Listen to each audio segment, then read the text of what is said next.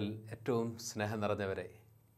നിഴൽ പോലെ ഒരപ്പൻ എന്ന യേശുപിതാവിന്റെ ജീവിതത്തിലേക്കുള്ള സുവിശേഷങ്ങൾ അവതരിപ്പിക്കുന്ന യേശുവിന്റെ വളർത്തുപിതാവിലേക്ക് തിരുസഭയുടെ സംരക്ഷകനിലേക്കുള്ള ഈ തീർത്ഥയാത്രയിൽ നിങ്ങളേവരെയും സ്നേഹത്തോടെ സ്വാഗതം ചെയ്യുന്നു.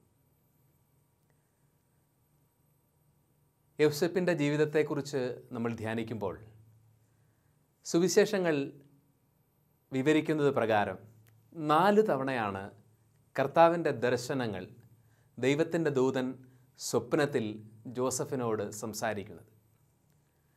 അയാളുടെ ജീവിതത്തിലെ ഏറ്റവും ആത്മസംഘർഷങ്ങളുടെ നിദ്രാവിഹീനമാകാവുന്ന രാത്രികളിലാണ് ദൈവത്തിന്റെ ഇടപെടലുകൾ അയാൾക്ക് ലഭിക്കുന്നത്.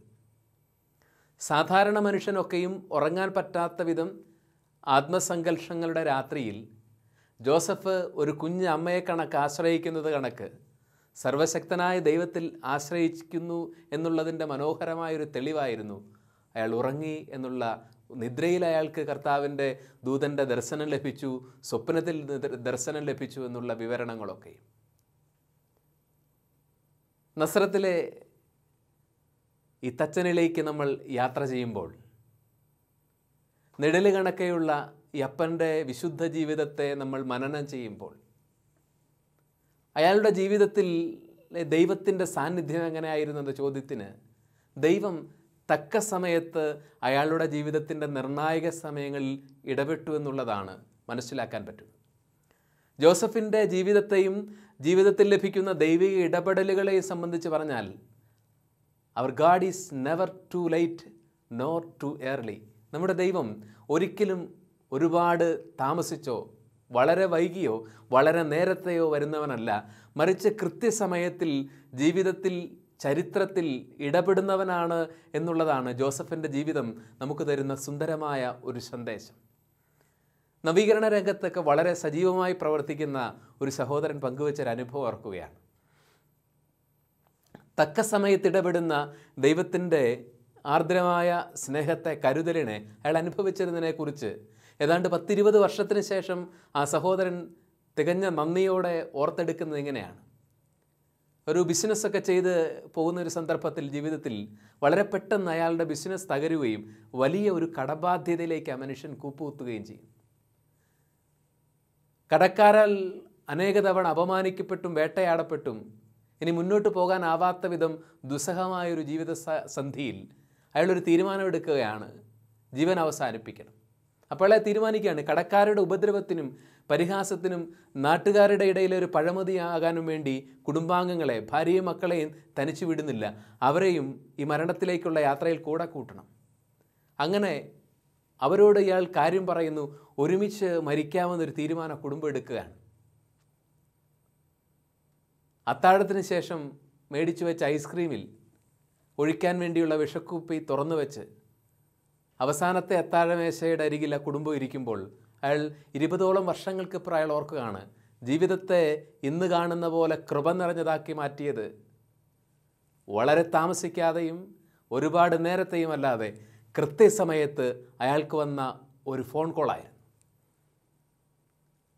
കൃത്യസമയത്ത് വന്ന ഒരു ഫോൺ കോൾ അയാൾ അറ്റൻഡ് ചെയ്യുകയും അതിൽ അയാളുടെ ഒരു സുഹൃത്ത് ഈ നിസ്സഹായമായ സന്ധിയിൽ പിടിച്ചു നിൽക്കാൻ ആവശ്യമായൊരു തുക വാഗ്ദാനം ചെയ്യുകയും ആ സഹായത്തിലാണ് കടക്കണിയിൽ നിന്ന് പതുക്കെ പതുക്കെ അയാളുടെ ജീവിതം പിന്നെയും അതിന്റെ ഹരിതാഭകൾ പച്ചപ്പുകൾ തിരിച്ചു പിടിക്കുന്നതും ഇന്ന് കാണുന്നത് പോലെ കൃപ നിറഞ്ഞ ഒരു ആത്മീയ അനുഭവത്തിലേക്ക് കുടുംബം ഒന്നടങ്കം കടന്നു വരുന്നത്.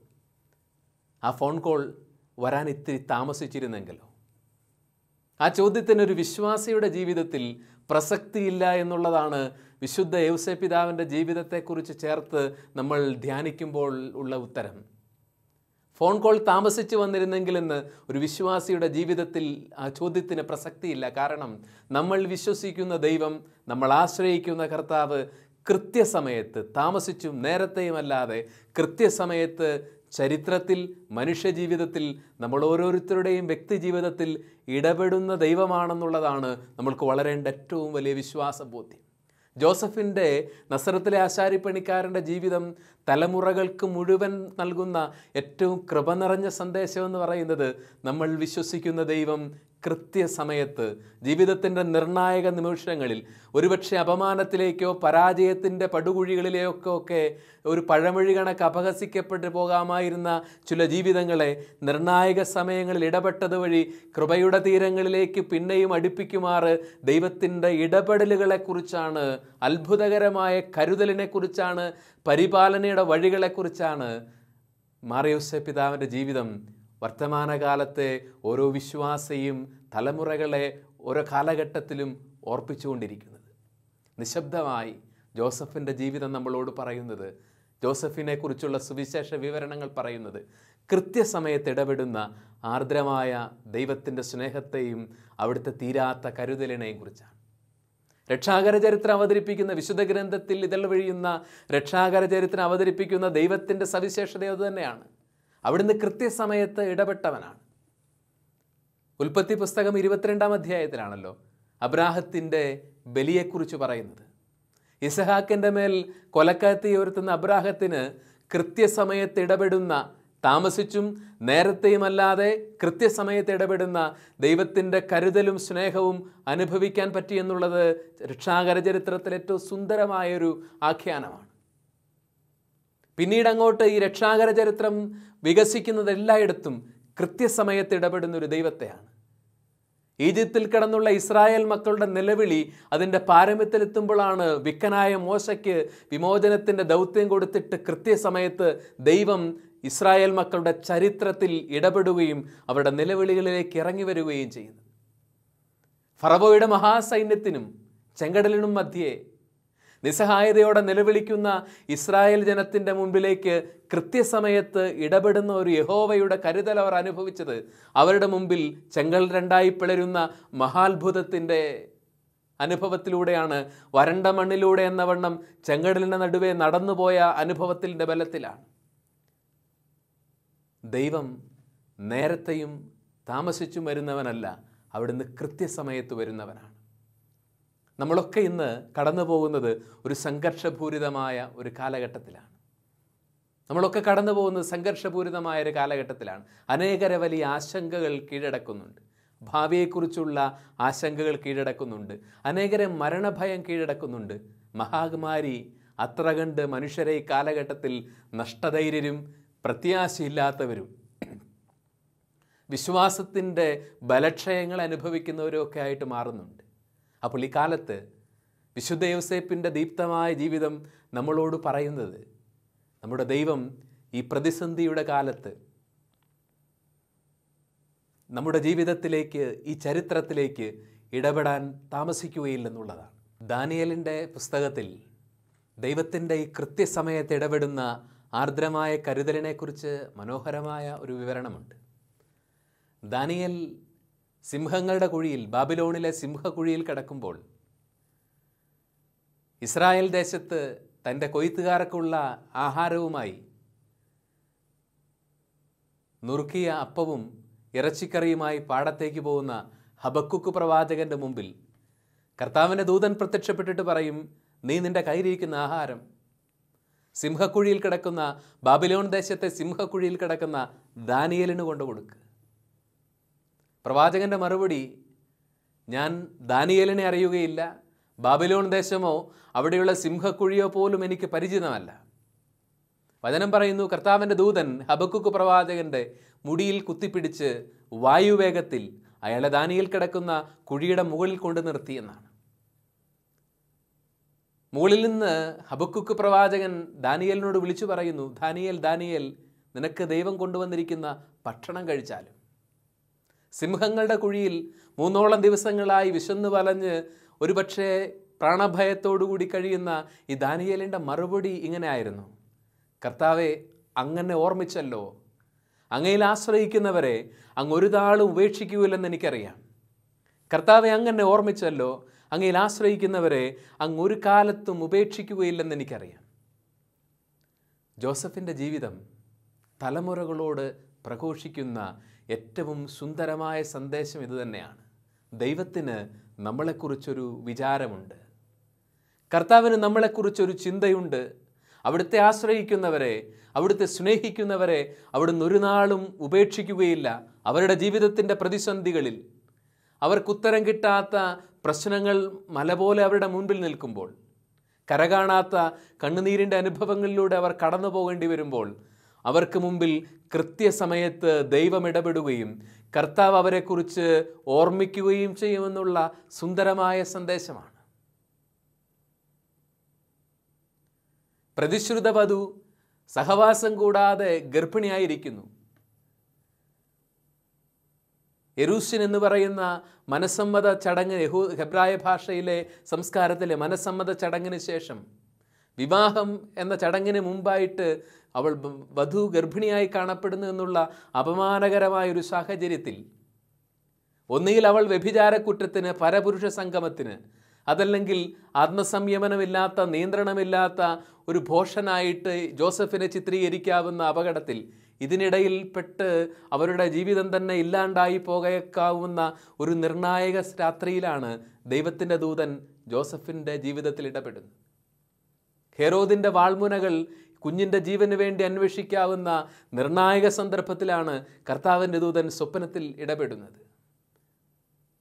ഈജിപ്തിലെ പരദേശവാസത്തിനിടയിൽ ദൈവത്തിന്റെ രക്ഷാകര കർമ്മത്തിന്റെ അർത്ഥം പോലും എന്താണെന്ന് മനസ്സിലാക്കാൻ പറ്റാത്ത അന്ന് സംഘർഷങ്ങളുടെ വേളകളിലായിരിക്കണം ദൈവത്തിന്റെ ദൂതൻ സ്വപ്നത്തിൽ ഇടപെടുന്നത്.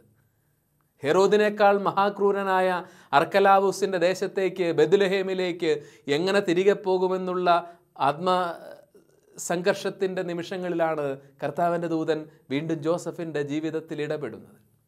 ദൈവം ജോസഫിന്റെ ജീവിതത്തിൽ ഇടപെട്ടതൊക്കെയും നിർണായകമായ സമയത്ത് കൃത്യ സമയങ്ങളിലായിരുന്നു ദൈവം നമ്മുടെ ജീവിതത്തിൽ ഇടപെടാൻ ജോസഫിനെ പോലെ കൃത്യസമയത്ത് ഇടപെടുന്ന ദൈവത്തിന്റെ കരുതലും പരിപാലനയും പലപ്പോഴും അനുദിന ജീവിതത്തിൽ നമ്മൾ ഈ കാലത്ത് അനുഭവിച്ചറിയാൻ ഇടയായിട്ടുണ്ട്.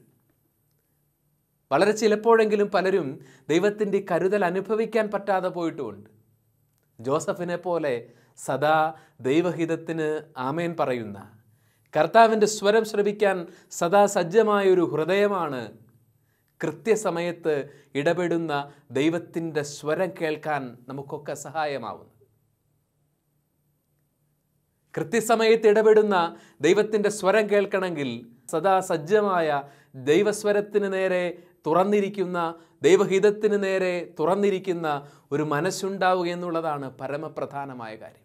അങ്ങനെയുള്ളവരുടെ ജീവിതത്തിൽ നമ്മളെക്കുറിച്ച് ഓർമ്മയുള്ള തന്നെ സ്നേഹിക്കുന്നവരെ വിസ്മരിക്കാത്ത ദൈവത്തിന്റെ കൃത്യസമയത്തുള്ള ഇടപെടലുകൾ നിരന്തരം നമ്മൾ അനുഭവിച്ചുകൊണ്ടിരിക്കും പരിപാലനയുടെ അനുഭവങ്ങൾ നിരന്തരം നമ്മുടെ ജീവിതത്തിന്റെ ഭാഗമായിട്ട് മാറും. തുടർന്ന് നമ്മളൊരു ഒരു അനുഭവത്തിൽ സാക്ഷ്യത്തിലേക്ക് പ്രവേശിക്കുകയാണ്. മത്തായി ഫിലിപ്പോസ് എന്ന ഒരു സഹോദരൻ അദ്ദേഹത്തിന്റെ കുടുംബത്തിലെ വളരെ നിർണായകമായ ഒരു സന്ദർഭത്തിൽ ദൈവം എങ്ങനെയാണ് കൃത്യസമയത്ത് ഇടപെട്ട് ഹെറോദിന്റെ വാൾമുനയിൽ നിന്ന് ഉണ്ണിയേശുവിന്റെ ജീവനെ രക്ഷിച്ചതുപോലെ തങ്ങളുടെ കുടുംബത്തിലെ ഒരു കുഞ്ഞിന്റെ ജീവൻ എങ്ങനെയാണ് ദൈവം പരിപാലനയുടെ കരങ്ങളിൽ പൊതിഞ്ഞു സൂക്ഷിച്ചതെന്നുള്ള സ്നേഹത്തിന്റെ നിർഭരമായ കൃതജ്ഞതാഭരിതമായ ഒരു സാക്ഷി വിവരണത്തിലേക്ക് നമ്മൾ പ്രവേശിക്കുകയാണ്. കൃത്യസമയത്ത് ഇടപെടുന്ന നേരത്തെയും താമസിച്ചുമല്ലാതെ കൃത്യസമയത്ത് ഇടപെടുന്ന ദൈവത്തിന്റെ ആർദ്ര സ്നേഹത്തിലേക്ക് കൂടുതൽ വിശ്വസിക്കാനും കൂടുതൽ ശരണപ്പെടാനും ഈ ഒരു സാക്ഷി വിവരണം നമ്മളെല്ലാവരെയും സഹായിക്കട്ടെ.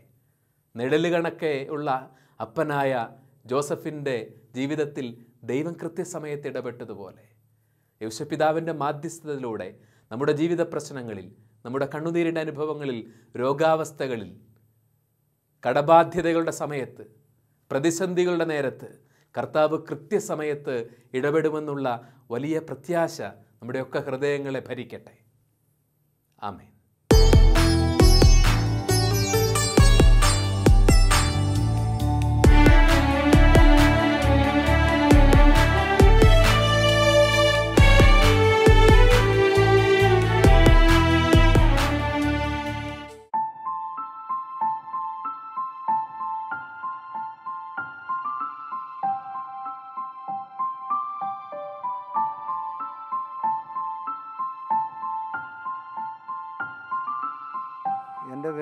ഫിലിപ്പോസ് ഞാൻ കൊണ്ടാക്കപ്പള്ളി ഇടവകമാണ് എന്റെ മകന് എന്റെ മകൻ ഷാജി മത്തായി. അവന് പ്രസവിച്ച് പതിനാറ് ദിവസം കഴിഞ്ഞപ്പോൾ ഭയങ്കര കരച്ചിലും ഭയങ്കര കരച്ചിലായിരുന്നു. പത്ത് മണി രാത്രി വരെയും കരഞ്ഞു. അവസാനം നിൽക്കപ്രതി കുറവില്ലാതെ വന്നപ്പോൾ ഞങ്ങൾ സെന്റ് ജോസഫ് മിഷൻ ആശുപത്രി ചമ്പക്കുളത്തേക്ക് കൊണ്ടുപോയി. അവിടെ ചെന്ന് അപ്പോൾ വയറങ്ങ് കണ്ടമാനം വീർത്തു. വയറ് വീർത്തത് കാരണം തല പോലും കാണാൻ മേലാതെ എത്ര മേൽ ശക്തിയായിട്ടങ്ങ് വയറ് വീർത്തു. ഡോക്ടറെ ഡോക്ടറെ കാണിച്ചപ്പോൾ ഡോക്ടർ പറയുന്നു നാൽപ്പത്തെട്ട് മണിക്കൂർ കഴിയാതെ എനിക്കൊന്നും പറയാനൊക്കത്തില്ല അവന്റെ കാലിന്റെ രണ്ട് കാലിന്റെയും വെള്ളയിൽ സൂചി കൊണ്ട് ഇങ്ങനെ വരച്ചു. എന്നിട്ട് പോലും അനങ്ങുന്നില്ല. അങ്ങനെ ഇരിക്കുമ്പോഴാണ് ഞങ്ങൾ ഔസേബ്ദാവിന്റെ മധ്യസ്ഥം തേടി പ്രാർത്ഥിച്ച് ഔസേബ്ദാവിന് ഒരു പെരുന്നാൾ കഴിച്ചോളാമെന്ന് ഞങ്ങൾ നേർന്നു. അതിന്റെ ഫലമായിട്ട് ഒരു മണിക്കൂർ കഴിഞ്ഞപ്പോഴത്തേക്കും അവൻ കണ്ണു തുറക്കുക കണ്ണു തുറന്നു. അപ്പോൾ ഡോക്ടർ പറഞ്ഞു ഇതൊരു അത്ഭുതം തന്നെയാണ്. എനിക്ക് ഒരു ഒട്ടും പ്രതീക്ഷയില്ലായിരുന്നു. ഇനി ഞാൻ അവന്റെ കാര്യം നോക്കിക്കോളാം. നിങ്ങൾ ഭയപ്പെടണ്ട. എന്ന് പറഞ്ഞു. അതിനുശേഷം അവന് വീണ്ടും ഇങ്ങനെ ഒരു ഡെങ്കിപ്പനി പോലെ ആരംഭത്തിൽ വന്നു. പല ആശുപത്രിയിൽ പോയി ചികിത്സിച്ച് അവസാനം ചെത്തിപ്പഴ പോയെങ്കിലും അവർ പറഞ്ഞു ഇത് കൂടിപ്പോയി. ഇവിടെ ഇത് പറ്റത്തില്ല. നിങ്ങൾ പുഷ്പഗിരി പുഷ്പഗിരിയിലോട്ട് പൊക്കോളാൻ പറയും. പുഷ്പഗിരി ചെന്ന പാടെ അവർ ഐ സിയിലോട്ട് കയറ്റുമായിരുന്നു കൗണ്ട് തീരെ അങ്ങ് കുറഞ്ഞു പോയി. തീരെ കുറഞ്ഞെന്ന് പറഞ്ഞാൽ ബ്ലഡ് വരെ ഛർദ്ദിക്കുന്ന രീതിയിലേക്ക് ആയെന്നാണ് അവർ പറഞ്ഞത്. അവിടെയും യോസേഫ് പിതാവിന്റെ മധ്യസ്ഥം തേടി പ്രാർത്ഥിച്ചു. കുറച്ച് സമയം കഴിഞ്ഞപ്പോഴത്തേക്ക് മാറ്റങ്ങൾ സംഭവിക്കാൻ തുടങ്ങി. അങ്ങനെ ഒരുപാട് പ്രാർത്ഥനയുടെ ഫലമായിട്ടാണ് അവിടെ നിന്നും രക്ഷപ്പെട്ടു പോന്നു അതിനുശേഷമാണ് ഞങ്ങൾക്ക് പെരുന്നാൾ കഴിക്കാന്റെ സമയമായി. എന്റെ കയ്യിൽ പത്ത് പൈസ പോലും ഇല്ലായിരുന്നു. സാമ്പത്തികമായിട്ട് യാതൊന്നും കയ്യിലില്ലായിരുന്നു. ഔസേബ്ദാവിനോട് അതും പ്രാർത്ഥിച്ചതിന്റെ ഫലമായിട്ട്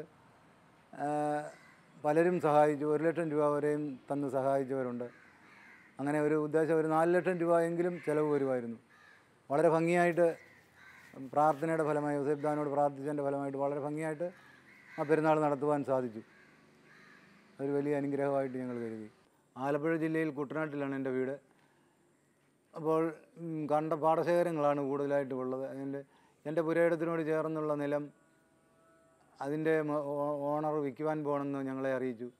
സാമ്പത്തികമായിട്ട് വളരെ പിന്നോക്കം നിൽക്കുന്ന എനിക്ക് അത് വാങ്ങിക്കാനുള്ള സാമ്പത്തികം ഇല്ലായിരുന്നു.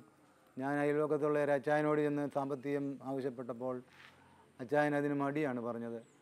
അന്ന് രാത്രി മുഴുവൻ ഞാനും എന്റെ ഭാര്യയും ഔസേ പിതാവിനോട് കരഞ്ഞപേക്ഷിച്ചതിന്റെ ഫലമായിട്ട് പിറ്റേ ദിവസം നേരം വെളുത്തപ്പോൾ ആ അച്ചായൻ എന്റെ ഭാര്യയോട് വന്ന് പറഞ്ഞു തലേ ദിവസം അവൻ എന്നോടൊരു കാര്യം പറഞ്ഞിട്ടുണ്ടായിരുന്നു അത് ഞാൻ കൊടുക്കാമെന്ന് പറയാൻ പറഞ്ഞു. അങ്ങനെ എന്റെ പുരേടത്തിനോട് ചേർന്നുള്ള നിലം മറ്റൊരുത്തം വാങ്ങിക്കുമ്പോൾ അതിന്റേതായ ബുദ്ധിമുട്ടുകൾ വളരെയേറെ വലുതാണ്. അങ്ങനെ ആ അച്ചായൻ ഔസേ പിതാവിനോട് പ്രാർത്ഥിച്ചതിന്റെ ഫലമായി അച്ചായൻ സാമ്പത്തികം തന്ന് സഹായിക്കുകയും ഞങ്ങൾ ആ നിലം വാങ്ങിക്കുകയും ചെയ്തു. सजना यौसे पिदावे।